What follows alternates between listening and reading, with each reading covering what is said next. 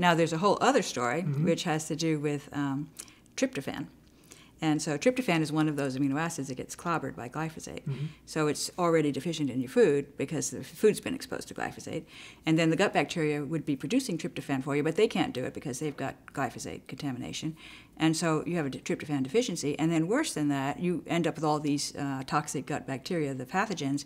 And so you, your body launches an immune rea- reaction to them. You, you send in the macrophages to uh, to kill those bacteria. And those macrophages are going to be using dangerous arsenals, so they need to have protection against that. And the protection that they get is actually from tryptophan. They produce something called kynurenine from the tryptophan, and they hoard it. So they gather up all this kynurenine in order to be able to protect themselves from the weapons that they're releasing to kill the bacteria. So, so the tryptophan is that's the small amount that's there is getting sucked up by the by the gut by the macrophages.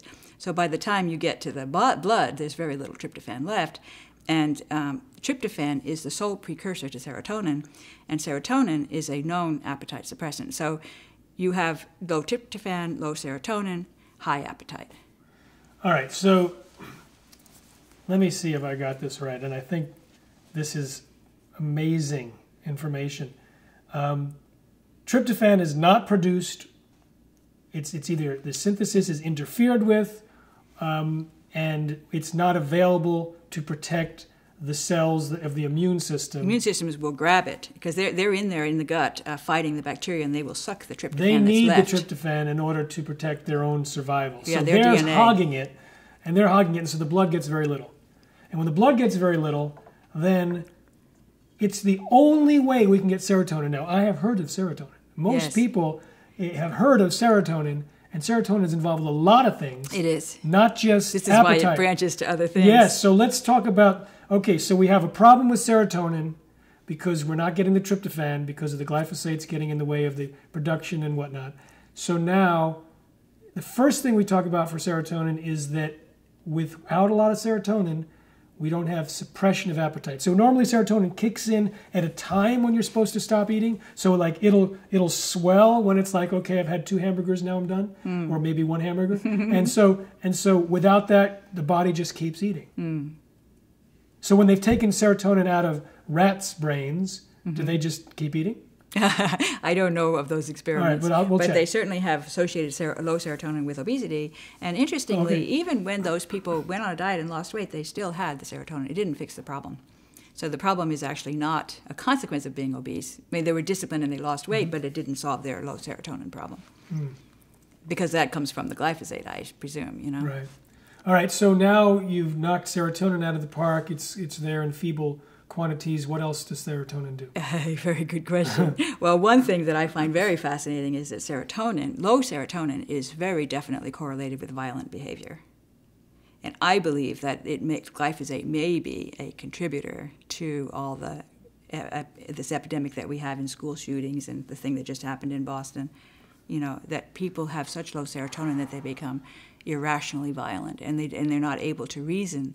You know about what is the consequences of what I'm doing, and they perform these crazy acts that it seem like how could anyone do this? And I think it could very well be traced back to the low serotonin that could be caused by the glyphosate.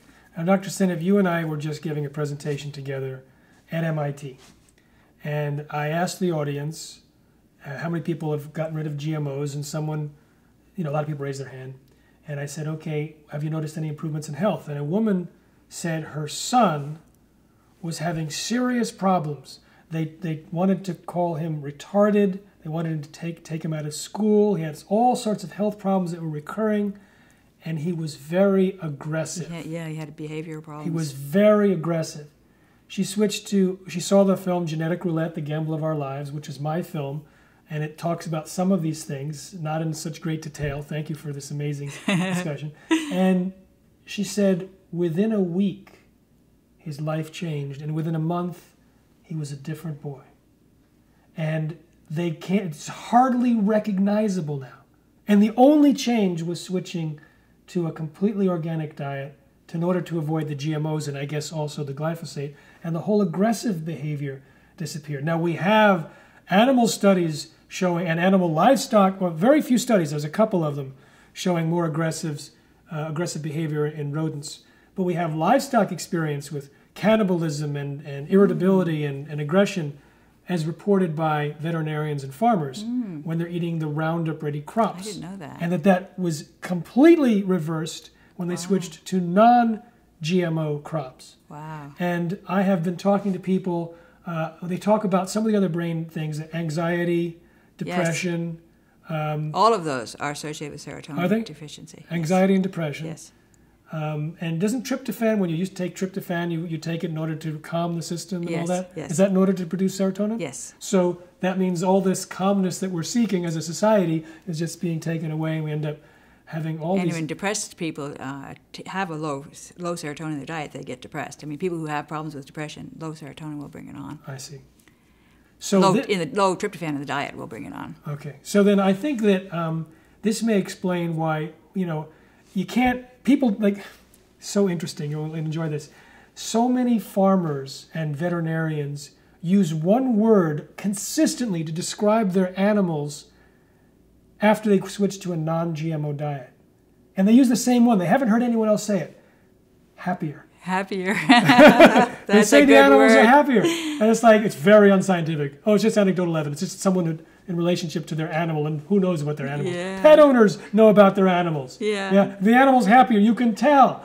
You know, even the pigs, you can tell. And these guys just go, they're happier. They're so excited, and um, we we started you know asking people about the danger. You know, what's happening with their bodies and their. I was just asking about their health problems, but so many people talk about the mental conditions. Yes. And I went to one doctor's office. She's had 5,000 people taken off of GMOs. She even describes three to five days, there's a change in the mental problems. Wow, that's great. Three to five, I mean, three to seven days, if I remember correctly. And because it's she happens over and over and over again, so she sees it and it's predictable. And maybe it's the tryptophan link, I the serotonin so. link. I think that would explain it. All right.